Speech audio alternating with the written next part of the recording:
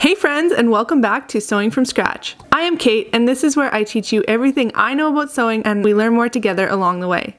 Today is episode number five in our bra sewing series. I think it's five. And we are talking about tips, tips for sewing. So I know we haven't actually sewn the bras yet, but I wanted to give these tips ahead of time so you can kind of keep them in mind. I know you're not going to really understand some of them, but most of them are pretty general and I think you will be able to apply these tips going forward in our bra sewing series. If you are just joining us for the first time, welcome, welcome, welcome. I am so glad you're here. I want to let you know that I am not a seasoned bra sewist. This is only actually the second bra that I have ever made. So we're kind of learning through this together, which I think is really unique and we can kind of troubleshoot and figure things out together and just gives kind of a fresh perspective to learning something. And if you haven't caught any of the earlier videos, I will leave the playlist down below for the entire bra sewing series. And don't forget, if you are new, hit the subscribe button so you don't miss out on future videos in this series. There is two left. So what I want to say first is that bra sewing really is quite simple. Now again, I've only sewn up one other bra before and I'm working on this second bra and I'm using the Ruby bra pattern from Pinup Girls. And it's, I would say, a great beginner pattern because there's nothing I've found that's been like really difficult or tricky. A couple tips that I want to mention are Number one, you need to be really precise when you're cutting out your fabric. I mean, this kind of goes for all garment sewing, but especially when you're working with something small where even a millimeter of skewed cutting can make a difference. So this might mean cutting out your fabric on one flat layer instead of folding over for cutting two pieces at once. And along the same lines as that is we want to be really precise when we are actually sewing this together. So mm, I think most bras come with about a quarter inch seam allowance. That's pretty small. In knit garment sewing, we are used to that because that's what our sergers do.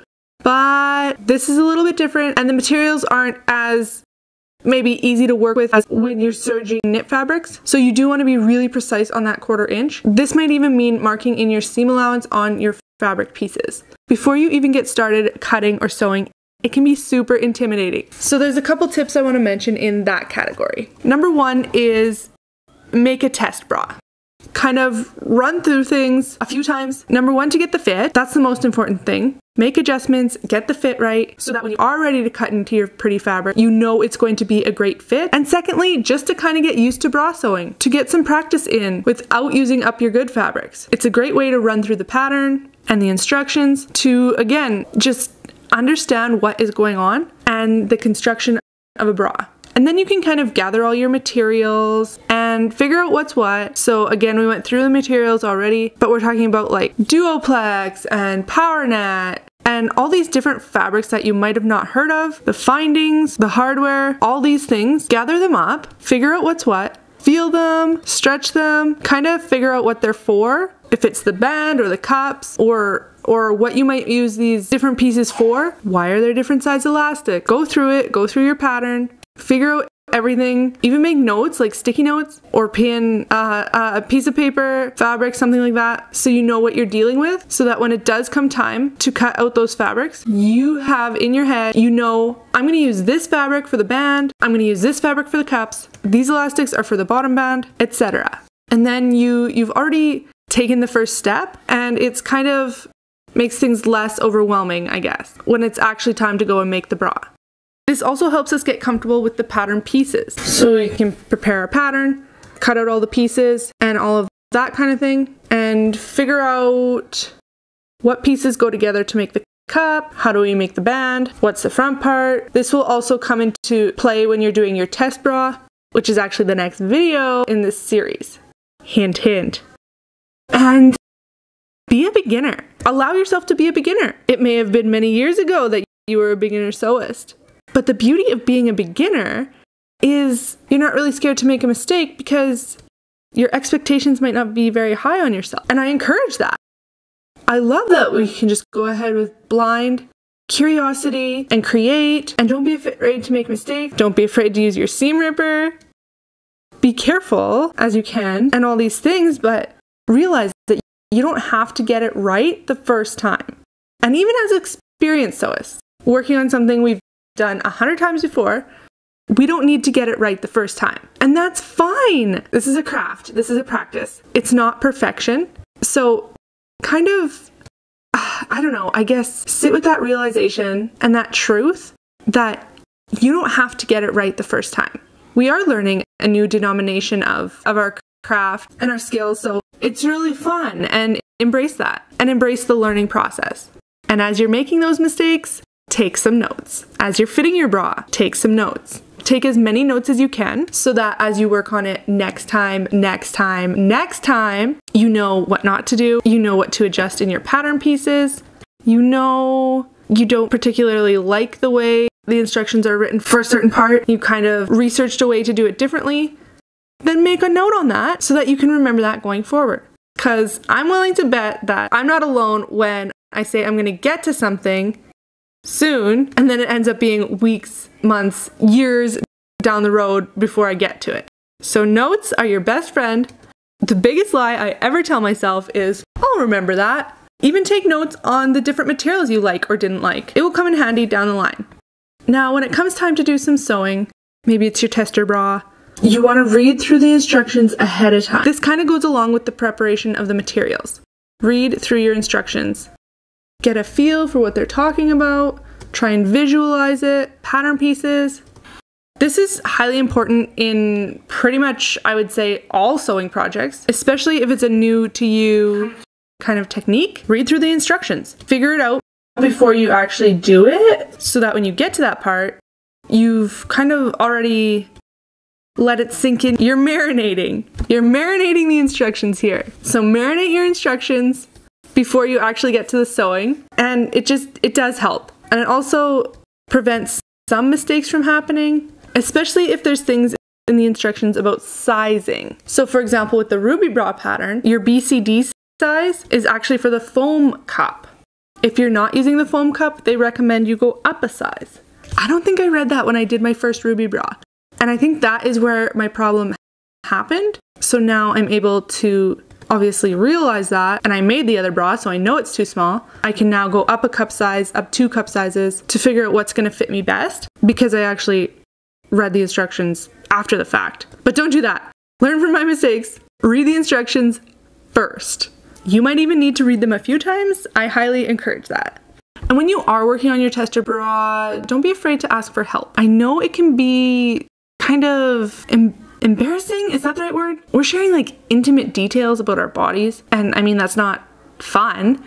There is a Facebook group that I will post down below that I have posted pictures of myself in. And I've received a lot of, I guess, professional help that, you know, it wasn't, I felt safe. It feels like a safe space. And I mean, once you, you get the help you're looking for, you can delete those pictures too. So if you are looking for something like that, I will leave that face group down below. You don't have to post pictures of yourself if you don't want. You can explain it. Uh, you could send somebody that you trust, send them a private message. I don't know much about bra fitting, so I'm not going to volunteer for that just because I don't think you're going to get the results you need. But find kind of a bra sewing mentor and don't be afraid to ask for help because I would say most of the sewing community is quite helpful and willing to to kind of give you guidance and especially in bra making, it's something that we want to fit perfectly and all of us as women realize that. So we want to help our sisters have a bra that fits them perfectly.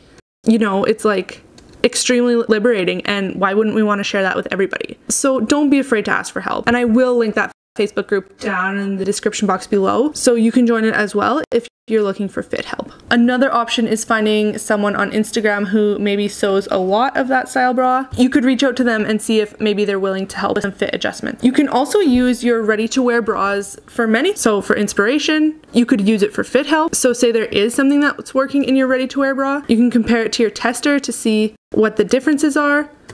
It's not going to be obviously a complete comparison, but there will be things that you can learn. So maybe you like the, the elastic strap instead of the stabilized strap. You know that. You can adjust your bra for that. You know. you know which way the hook and eye closes. So you can put your hook and eye on the correct side that's comfortable for you. You can know if you like foam cups or not foam cups better. You can learn all these things from ready to wear. And I think that's why a lot of us have been pushed into sewing our own bras because ready to wear isn't working for us. So we know what's not working for us. So now let's take that and adapt it and figure out what is working for us. And looking at a ready to wear bra, looking at the construction of it, etc., can also just help us visualize what's coming ahead for us and how it's going to how it's going to work, how it's going to come together.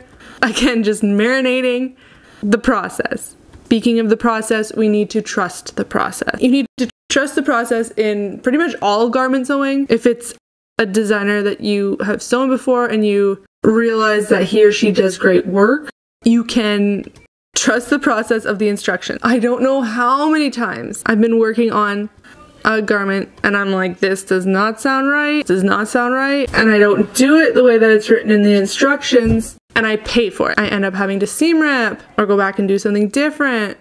So if I just trust the process, do it the way that it's laid out in the instructions, then I can see, okay, this did make sense in the end. It's maybe not the way I would have done it, but now I know that it does work, and here's what I can do differently the next time. Just trust the process and you will likely get the end result. And now I have a few more tips that deal with the actual sewing construction of the bra. Number one, and uh, don't ask me how I know this, but make sure that you are making a left and a right bra cup.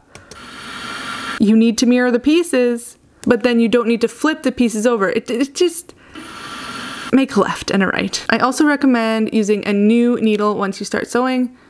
The type of needle will kind of depend on what you're sewing what materials you're using, but I would say ballpoint is probably a pretty good start because we're going to be sewing through elastic and through fibers that aren't really woven and a ballpoint needle or a stretch needle isn't going to hurt a woven material the way a universal needle would hurt a knit material, if that makes sense. And then once you get to the actual sewing, go slow. I've already talked about the seam allowance being so important. Go slow, take your time, Again, don't be afraid to seam rip. Most of these seams are really tiny and it's better to fix something earlier on than later on down the road when you've already like top stitched or triple zigzag or something like that. And finally, the one thing I didn't like about the Ruby bra pattern the first one I made is the exposed seams in the center. So they do have you opening up the seams and top stitching it down, but it still just looks homemade to me. I love homemade stuff. I love using the word homemade. I'm not using it in like a super negative way here, but it's just not finished as professionally as I would like. So if you are doing a duoplex cup, like unlined, you might want to put in a second layer of lining or go over your seams with some ribbon or something like that, just so that you don't get this kind of jagged, unfinished look. In my version, I'm actually going to be using sheer cup lining and then lace on top, which I have obviously never done before. So we will see how that turns out. But my plan is to make the two layers and then have each of them, the seam allowances going towards each other. So then on the other sides, it's, uh, it's, you don't see the seam allowances. So we will see how that turns out. Stay tuned to see what happens. Thank you so much for watching and being part of this series. All of November is going to be for this series. I just am so excited at how many people are watching and wanting to learn how to sew bras. It's again, it's just so empowering and liberating. And it's great to think that we can all have bras that fit us properly because we have the technology. So again, thank you so much for watching. Don't forget to like this video and hit the subscribe button so you don't miss out on the future ones coming out. And I will see you there. Thanks again. Bye.